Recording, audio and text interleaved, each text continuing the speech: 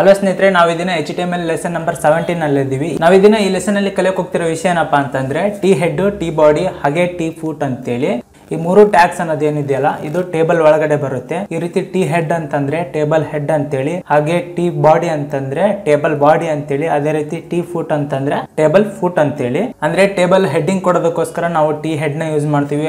ಹಾಗೆ ಅದ್ರ ಒಳಗಡೆ ಇನ್ಫಾರ್ಮೇಶನ್ ಫಿಲ್ ಮಾಡ್ತೀವಲ್ಲ, ಅದೆಲ್ಲ ಟಿ ಬಾಡಿ ಒಳಗಡೆ ಫಿಲ್ ಮಾಡ್ತೀವಿ. ಅದೇ ರೀತಿ ಟೇಬಲ್ನ ಕ್ಲೋಸಿಂಗ್ನಲ್ಲಿ ಟೈಟಲ್ನ ಯೂಸ್ ಮಾಡೋದಕ್ಕೆ ಟಿ ಫೂಟ್ ಅಂತೇಳಿ ಯೂಸ್ ಮಾಡ್ತೀವಿ. ಇದೆಲ್ಲ ಯಾವ ರೀತಿ ಅಂತೇಳಿ ಈ ವಿಡಿಯೋದಲ್ಲಿ ತಿಳ್ಕೊಳ್ಳೋಣಂತೆ. ನಾನು ಇಲ್ಲಿ first H T M L ಹಾಗೆ ಬಾಡಿ ಟ್ಯಾಗ್ನ ಓಪನ್ ಮಾಡಿದ್ದೀನಲ್ಲ, ಅದೇ ರೀತಿ ನಾನು ಬಾಡಿ ಟ್ಯಾಗ್ನ ಎಚ್ ಟಿ ಎಂ ಎಲ್ ಟ್ಯಾಗ್ನ ಕ್ಲೋಸ್ ಮಾಡ್ತೀನಿ. ನಾನು ಇಲ್ಲಿ ಫಸ್ಟ್ ಟೇಬಲ್ನ ಕ್ರಿಯೇಟ್ ಮಾಡ್ತೀನಿ ನೋಡ್ರಿ ಸ್ನೇಹಿತರೆ. ಈ ರೀತಿ ಫಸ್ಟ್ ಟೇಬಲ್ನ ಕ್ರಿಯೇಟ್ ಮಾಡ್ಬೇಕಂತಂದ್ರೆ ಟೇಬಲ್ ಅನ್ನೋ ಟ್ಯಾಗ್ನ ಓಪನ್ ಮಾಡ್ಬೇಕಾಗುತ್ತೆ, ಅದೇ ರೀತಿ ಟೇಬಲ್ ಅನ್ನೋ ಟ್ಯಾಗ್ನ ಕ್ಲೋಸ್ ಮಾಡ್ತೀನಿ. ಈ ರೀತಿ ಟೇಬಲ್ ಅನ್ನೋ ಟ್ಯಾಗ್ನ ಓಪನ್ ಮಾಡಿದ್ದೀನಲ್ಲ ಹಾಗೆ ಈ ಟೇಬಲ್ದು ಬಾರ್ಡರ್ ಡಿಸ್ಪ್ಲೇ ಆಗ್ಬೇಕಂದ್ರೆ ಇಲ್ಲಿ ಬಾರ್ಡರ್ ಈಕ್ವಲ್ ಟು ಟೂ ಅಂತ ಹೇಳಿ ಕೊಟ್ಟಿರ್ತೀನಿ. ಈ ರೀತಿ ಬಾರ್ಡರ್ನ ಕೊಟ್ಮೇಲೆ ನಾನು ಇಲ್ಲಿ ಫಸ್ಟ್ ಟಿ ಹೆಡ್ ಅಂತೇಳಿ ಟ್ಯಾಗ್ನ ಸ್ಟಾರ್ಟ್ ಮಾಡ್ತೀನಿ. ಈ ರೀತಿ ಟಿ ಹೆಡ್ ಅಂತಂದ್ರೆ ಟೇಬಲ್ ಹೆಡ್ ಅಂತೇಳಿ. ಟೇಬಲ್ನಲ್ಲಿ ಹೆಡ್ಡಿಂಗ್ ಬರೋದಕ್ಕೋಸ್ಕರ ಈ ಟಿ ಹೆಡ್ನ ಯೂಸ್ ಮಾಡ್ತಿರ್ತಾರೆ. ಇಲ್ಲಿ ಟಿ ಹೆಡ್ ಅಂತೇಳಿ ಟ್ಯಾಗ್ನ ಸ್ಟಾರ್ಟ್ ಮಾಡಿ, ಅದೇ ರೀತಿ ಟಿ ಹೆಡ್ ಅನ್ನೋ ಟ್ಯಾಗ್ನ ಕ್ಲೋಸ್ ಮಾಡ್ತೀನಿ. ಈ ಟಿ ಹೆಡ್ ಅನ್ನೋ ಟ್ಯಾಗ್ನಲ್ಲಿ ನಾನು ರೋಸ್ನ ಕ್ರಿಯೇಟ್ ಮಾಡ್ಬೇಕಲ್ಲ, ನಾನು ಒಂದು ರೋ ನ ಕ್ರಿಯೇಟ್ ಮಾಡ್ತೀನಿ ನೋಡ್ರಿ. ಈ ರೀತಿ ಟಿ ಆರ್ ಅಂತೇಳಿ ಒಂದು ರೋ ನ ಕ್ರಿಯೇಟ್ ಮಾಡ್ತೀನಿ. ಹಾಗೆ ಈ ಟಿ ಆರ್ ಅನ್ನೋ ಟ್ಯಾಗ್ನ ನಾನು ಕ್ಲೋಸ್ ಮಾಡ್ತೀನಿ. ಇಲ್ಲಿ ಒಂದು ಟೇಬಲ್ ಒಳಗಡೆ ರೋ ಕ್ರಿಯೇಟ್ ಆಗಿದೆಯಲ್ಲ, ಅದಕ್ಕೆ ನಾನು ಕಾಲಮ್ನ ಕೊಟ್ಟು ಟೈಟಲ್ನ ಫಿಲ್ ಮಾಡ್ಬೇಕಂತಂದ್ರೆ ಟಿ ಡಿ ಅನ್ನೋ ನ ಓಪನ್ ಮಾಡಬೇಕಾಗುತ್ತೆ. ಈ ಟಿ ಡಿ ಅಂತಂದ್ರೆ ಟೇಬಲ್ ಡಾಟಾ ಅಂತೇಳಿ, ಇಲ್ಲಿ ನಾನು ಟಿ ಡಿ ಅಂತೇಳಿ ಓಪನ್ ಮಾಡ್ತೀನಿ. ಹಾಗೆ ಟಿ ಡಿ ಅಂತೇಳಿ ಕ್ಲೋಸ್ ಮಾಡ್ತೀನಿ. ಇದ್ರ ಒಳಗಡೆ ನಾನು ಮಂತ್ ಅಂತೇಳಿ ಬರಿತೀನಿ. ಹಾಗೆ ಇನ್ನೊಂದು ಟಿ ಡಿನ ಓಪನ್ ಮಾಡಿ, ಇನ್ನೊಂದು ಟಿ ಡಿನ ಕ್ಲೋಸ್ ಮಾಡಿ, ಇದ್ರ ಒಳಗಡೆ ನಾನು ಸೇವಿಂಗ್ ಅಂತೇಳಿ ಬರೆದಿರ್ತೀನಿ. ಈ ರೀತಿ ನಾನು ಕಾಲಮ್ನಲ್ಲಿ ಟೆಕ್ಸ್ಟ್ ನಾ ಕೊಟ್ಟಿದ್ದೀನಲ್ಲ, ಇದನ್ನ ಕಂಟ್ರೋಲ್ ಎಸ್ ಅಂತೇಳಿ ಪ್ರೆಸ್ ಮಾಡಿ H T M L tutorials ಅನ್ನೋ ಫೋಲ್ಡರ್ ಇದೆಯಲ್ಲ, ಇದ್ರ ಒಳಗಡೆ ನಾನು lesson seventeen dot H T M L ಅಂತೇಳಿ ಸೇವ್ ಮಾಡ್ತೀನಿ. ಈ ರೀತಿ ಸೇವ್ ಮಾಡಿದೀನಲ್ಲ ಈ ಫೋಲ್ಡರ್ನಲ್ಲಿ ಓಪನ್ ಮಾಡ್ತೀನಿ ನೋಡ್ರಿ ಲೆಸನ್ ಸೆವೆಂಟೀನ್ ಅನ್ನೋದನ್ನ. ಇದನ್ನ ಓಪನ್ ಮಾಡಿದ್ರೆ ಇಲ್ಲಿ ನೋಡ್ತಿರ್ಬೋದು, ಒಂದು ಟೇಬಲ್ ಅನ್ನೋದು ಕ್ರಿಯೇಟ್ ಆಗಿದೆ. ಇಲ್ಲಿ ಮಂತ್ ಸೇವಿಂಗ್ ಅಂತೇಳಿ ಬಂದಿದೆ, ಎರಡು ಕಾಲಮ್ ಈ ರೀತಿ ನಾವು ಟೇಬಲ್ನ ಕ್ರಿಯೇಟ್ ಮಾಡ್ಕೋಬಹುದು ಅದೇ ರೀತಿ ನನಗೆ ಈ ಟಿ ಹೆಡ್ ಅಲ್ಲಿ ಏನಾದ್ರು ಬ್ಯಾಕ್ ಗ್ರೌಂಡ್ ಕಲರ್ ಬೇಕು ಅಂತಂದ್ರೆ, ಈ ಟಿ ಹೆಡ್ ಮುಂದ್ಗಡೆ ಬಿಜಿ ಕಲರ್ ಅಂತೇಳಿ ಈಕ್ವಲ್ ಟು ಡಬಲ್ ಕೋಟ್ಸ್ ಅಲ್ಲಿ ರೆಡ್ ಅಂತೇಳಿ ಕೊಡ್ತೀನಿ ನಾನು. ಈ ರೀತಿ ಬಿಜಿ ಕಲರ್ ಅಂತಂದ್ರೆ ಬ್ಯಾಕ್ ಗ್ರೌಂಡ್ ಕಲರ್ ಅಂತೇಳಿ, ಇದು ರೆಡ್ ಆಗಿ ಬರುತ್ತೆ. ಈ ನೋಟ್ ಪ್ಯಾಡ್ನ ಸೇವ್ ಮಾಡ್ಕೊಂಡು ಇಲ್ಲಿ ರಿಫ್ರೆಶ್ ಮಾಡ್ತೀನಿ. ಇಲ್ಲಿ ನೋಡ್ತಿರ್ಬೋದು ನೀವು ಮಂತ್ ಸೇವಿಂಗ್ ಅನ್ನೋದು ರೆಡ್ ಕಲರ್ ಅಲ್ಲಿ ಬಂದಿದೆ ಬ್ಯಾಕ್ ಗ್ರೌಂಡ್ ಅಲ್ಲಿ. ಈ ರೀತಿ ನಾವು ಟೇಬಲ್ ಹೆಡ್ಡಿಂಗ್ ಅನ್ನೋದು ಕ್ರಿಯೇಟ್ ಮಾಡ್ಕೊಂಡು ಅಲ್ಲ ಟಿ ಹೆಡ್ ಅನ್ನೋದು ಯೂಸ್ ಮಾಡ್ಕೊಂಡು, ಅದೇ ರೀತಿ ನಾನು ಇಲ್ಲಿ ಟಿ ಫೂಟ್ ಅನ್ನೋದನ್ನ ಕ್ರಿಯೇಟ್ ಮಾಡ್ತೀನಿ ನೋಡ್ರಿ. ಟೇಬಲ್ ಫೂಟ್ ಯಾವ ರೀತಿ ಇರುತ್ತೆ ಅಂತಂದ್ರೆ, ಇಲ್ಲಿ ಟಿ ಫೂಟ್ ಅನ್ನೋದು ಕ್ರಿಯೇಟ್ ಮಾಡ್ಕೊಂಡು, ಹಾಗೆ ಟಿ ಫೂಟ್ ಅನ್ನೋದು ಕ್ಲೋಸ್ ಮಾಡ್ತೀನಿ. ಇದ್ರ ಒಳಗಡೆ ರೋ ಕ್ರಿಯೇಟ್ ಮಾಡ್ಬೇಕಂದ್ರೆ ಟಿ ಆರ್ ಅನ್ನೋ ಟ್ಯಾಗ್ನ ಯೂಸ್ ಮಾಡ್ತೀನಿ. ಇಲ್ಲಿ ಟಿ ಆರ್ ಅನ್ನ ಹೇಳಿ ಹಾಕಿ, ಅದೇ ರೀತಿ ಟಿ ಆರ್ನ ಕ್ಲೋಸ್ ಮಾಡ್ಕೊಂಡು, ಇಲ್ಲಿ ನಾನು ಎರಡು ಕಾಲಮ್ನ ಕ್ರಿಯೇಟ್ ಮಾಡ್ತೀನಿ. ನಾನು ಟಿ ಡಿ ಓಪನ್ ಮಾಡ್ತೀನಿ, ಹಾಗೆ ಟಿ ಡಿ ನ ಕ್ಲೋಸ್ ಮಾಡ್ತೀನಿ. ಅದೇ ರೀತಿ ಟಿ ಡಿ ಓಪನ್ ಮಾಡಿ ಟಿ ಡಿ ನ ಕ್ಲೋಸ್ ಮಾಡಿರ್ತೀನಿ. ಈ ಟಿ ಹೆಡ್ ಅಲ್ಲಿ ಮಂತ್ ಸೇವಿಂಗ್ ಅಂತ ಕೊಟ್ಟಿದ್ದೀನಲ್ಲ, ಅದೇ ರೀತಿಯಲ್ಲಿ ನಾನು ಟೋಟಲ್ ಅಂತ ಹೇಳಿ ಬರ್ತೀನಿ. ಅದೇ ರೀತಿ ಸೇವಿಂಗ್ ಅಮೌಂಟ್ ಹಂಡ್ರೆಡ್ ಡಾಲರ್ ಅಂತ ಹೇಳಿ ಬರ್ದಿರ್ತೀನಿ. ಹಾಗೆ ಇಲ್ಲಿ ಟೀ ಫೂಟ್ಗೆ ಬ್ಯಾಕ್ ಗ್ರೌಂಡ್ ಕಲರ್ನ ಕೊಟ್ಟಿರ್ತೀನಿ ನೋಡ್ರಿ ಗ್ರೀನ್ ಅಂತೇಳಿ BG colour equal to double quotes ಅಲ್ಲಿ ಗ್ರೀನ್ ಅಂತ ಹೇಳಿ ಕೊಟ್ಟು ಡಬಲ್ ಕೋಟ್ಸ್ನ ಕ್ಲೋಸ್ ಮಾಡ್ತೀನಿ. ಈ ನೋಟ್ ಪ್ಯಾಡ್ನ ಸೇವ್ ಮಾಡ್ಕೊಂಡು ಈ ಕ್ರೋಮ್ ಬ್ರೌಸರ್ ಅಲ್ಲಿ ಬಂದು ರಿಫ್ರೆಶ್ ಮಾಡಿದ್ರೆ ಇಲ್ಲಿ ನೋಡ್ತಿರ್ಬೋದು ಮಂತ್ ಸೇವಿಂಗ್ ಅಂತೇಳಿ ಟೇಬಲ್ ಹೆಡ್ ಬಂದಿದೆ. ಅದೇ ರೀತಿ ಟೋಟಲ್ ಒನ್ ಹಂಡ್ರೆಡ್ ಡಾಲರ್ ಅನ್ನೋದು ಟೇಬಲ್ ಫೂಟ್ ಅನ್ನೋದು ಕ್ರಿಯೇಟ್ ಆಗಿದೆ. ಈ ರೀತಿ ನಾವು ಟೇಬಲ್ ಹೆಡ್ ಟೇಬಲ್ ಫೂಟ್ನ ಕ್ರಿಯೇಟ್ ಮಾಡ್ಕೋಬಹುದು. ನಿಮ್ಗೆ ಏನು ಇದರಲ್ಲಿ ಡಿಫ್ರೆನ್ಸ್ ಗೊತ್ತಾಗ್ತಿಲ್ಲಲ್ಲ?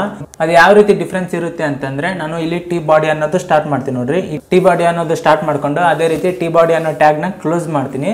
ಇದ್ರ ಒಳಗಡೆ ನಾನು ಮೂರು ರೋ ನ ಕ್ರಿಯೇಟ್ ಮಾಡ್ತೀನಿ. ಅಂದ್ರೆ ಜನವರಿ ಫೆಬ್ರವರಿ ಮಾರ್ಚ್ ಮಂತ್ ಇಂದು ಇಷ್ಟಿಷ್ಟು ಸೇವಿಂಗ್ ಆಗಿದೆ ಅಂತೇಳಿ. ಇಲ್ಲಿ ನಾನು ಟಿ ಆರ್ ಟ್ಯಾಗ್ನ ಮೂರ್ ಸಲ ಹಾಕಿರ್ತೀನಿ. ಅಂದ್ರೆ ಟಿ ಆರ್ ಟ್ಯಾಗ್ನ ಓಪನ್ ಮಾಡ್ತೀನಿ. ಅದೇ ರೀತಿ ಟಿ ಆರ್ ಟ್ಯಾಗ್ನ ಕ್ಲೋಸ್ ಮಾಡಿರ್ತೀನಿ.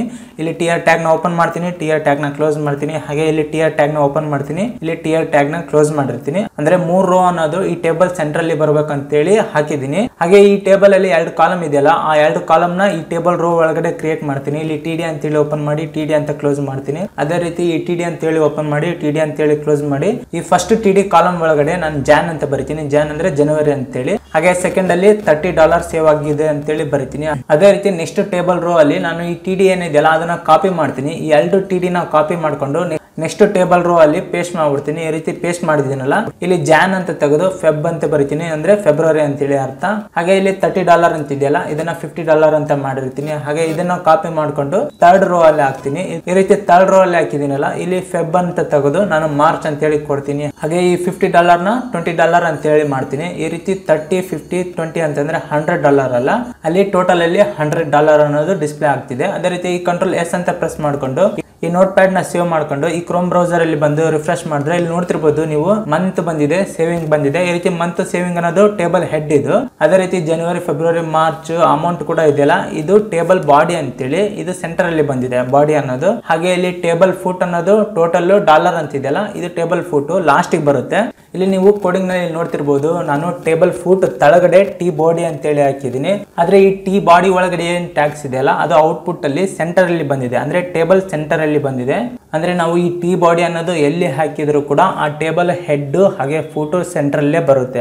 ಅಂದ್ರೆ- ಟೇಬಲ್ ಬಾಡಿ ಒಳಗಡೆನೆ ಬರುತ್ತೆ. ಅದೇ ರೀತಿ ನಾನು ಏನಾದ್ರು ಈ ಟಿ ಹೆಡ್ನ ಕಾಪಿ ಮಾಡ್ಕೊಂಡು ಟಿ ಫೂಟ್ ತಳಗಡೆ ಹಾಕಿದ್ರು ಕೂಡ ಇಲ್ಲಿ ಕಂಟ್ರೋಲ್ ಎಸ್ ಅಂತ ಪ್ರೆಸ್ ಮಾಡ್ತೀನಿ. ಇಲ್ಲಿ ರಿಫ್ರೆಶ್ ಮಾಡ್ತೀನಿ. ಇಲ್ಲಿ ನೋಡ್ತಿರ್ಬೋದು ನೀವು ಏನು ಡಿಫ್ರೆನ್ಸ್ ಏನಿಲ್ಲ.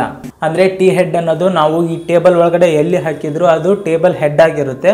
ಅದೇ ರೀತಿ ಟಿ ಬಾಡಿ ಅನ್ನೋದು ಹೆಡ್ ತಳಗಡೆನೆ ಬರುತ್ತೆ. ಅದೇ ರೀತಿ ಟಿ ಫೂಟ್ ಅನ್ನೋದು ಟೇಬಲ್ನ ತಳಗಡೆನೆ ಫೂಟ್ ಹತ್ರನೇ ಬರುತ್ತೆ. ಹಾಗೆ ಈ ಟೇಬಲ್ ಅನ್ನೋದು ವೆಬ್ ಪೇಜ್ ಅಲ್ಲಿ ಸೆಂಟರ್ ಬರಬೇಕು ಅಂತಂದ್ರೆ ನಾವು ಈ ಟೇಬಲ್ ಅನ್ನ ಟ್ಯಾಗ್ ಓಪನ್ ಮಾಡಿದೀನಲ್ಲ ಅದ್ರ ಮೇಲ್ಗಡೆ ಸೆಂಟರ್ ಅಂತೇಳಿ ಟ್ಯಾಗ್ನ ಹಾಕ್ತೀನಿ. ಹಾಗೆ ಇಲ್ಲಿ ಟೇಬಲ್ ಕ್ಲೋಸಿಂಗ್ ಟ್ಯಾಗ್ ತಳಗಡೆ ಸೆಂಟರ್ ಅನ್ನೋ ಟ್ಯಾಗ್ನ ಕ್ಲೋಸ್ ಮಾಡ್ತೀನಿ. ಈ ರೀತಿ ಸೆಂಟರ್ ಅನ್ನೋ ಟ್ಯಾಗ್ ಅನ್ನು ಹಾಕೋದ್ರಿಂದ ಇದ್ರ ಒಳಗಡೆ ಏನಿರುತ್ತಲ್ಲ ಅದೆಲ್ಲ ಔಟ್ಪುಟ್ ಅಲ್ಲಿ ಸೆಂಟರ್ ಅಲ್ಲಿ ಬರುತ್ತೆ. ಇದನ್ನ ನಾನು ಕಂಟ್ರೋಲ್ ಎಸ್ ಅಂತ ಪ್ರೆಸ್ ಮಾಡ್ತೀನಿ, ಇಲ್ಲಿ ರಿಫ್ರೆಶ್ ಮಾಡ್ತೀನಿ. ಇಲ್ಲಿ ನೋಡ್ತಿರ್ಬೋದು ನೀವು ಟೇಬಲ್ ಅನ್ನೋದು ಸೆಂಟರ್ ಸೈಡ್ ಬಂದಿದೆ. ಹಾಗೆ ಇದು ಫುಲ್ ಮೇಲ್ಗಡೆ ಇದೆಯಲ್ಲ, ಸ್ವಲ್ಪ ತಳಗಡೆ ಬರಬೇಕು ಅಂತಂದ್ರೆ ಬ್ರೇಕ್ ಟ್ಯಾಗ್ನ ಯೂಸ್ ಮಾಡಬೇಕಾಗುತ್ತೆ. ಇಲ್ಲಿ ಬಾಡಿ ತಳಗಡೆ ನಾನು ಒಂದು ನಾಲ್ಕೈದು ಬ್ರೇಕ್ ಟ್ಯಾಗ್ನ ಹಾಕ್ತೀನಿ. ಈ ರೀತಿ ಬ್ರೇಕ್ ಟ್ಯಾಗ್ನ ಹಾಕಿದ್ದೀನಲ್ಲ, ನಾನು ಕಂಟ್ರೋಲ್ ಎಸ್ ಅಂತ ಪ್ರೆಸ್ ಮಾಡ್ಕೊಂಡು ಈ ನೋಟ್ ಪ್ಯಾಡ್ನ ಸೇವ್ ಮಾಡ್ಕೊಂಡು ಇಲ್ಲಿ ಕ್ರೋಮ್ ಬ್ರೌಸರ್ ಇಲ್ಲಿ ರಿಫ್ರೆಶ್ ಮಾಡ್ತೀನಿ.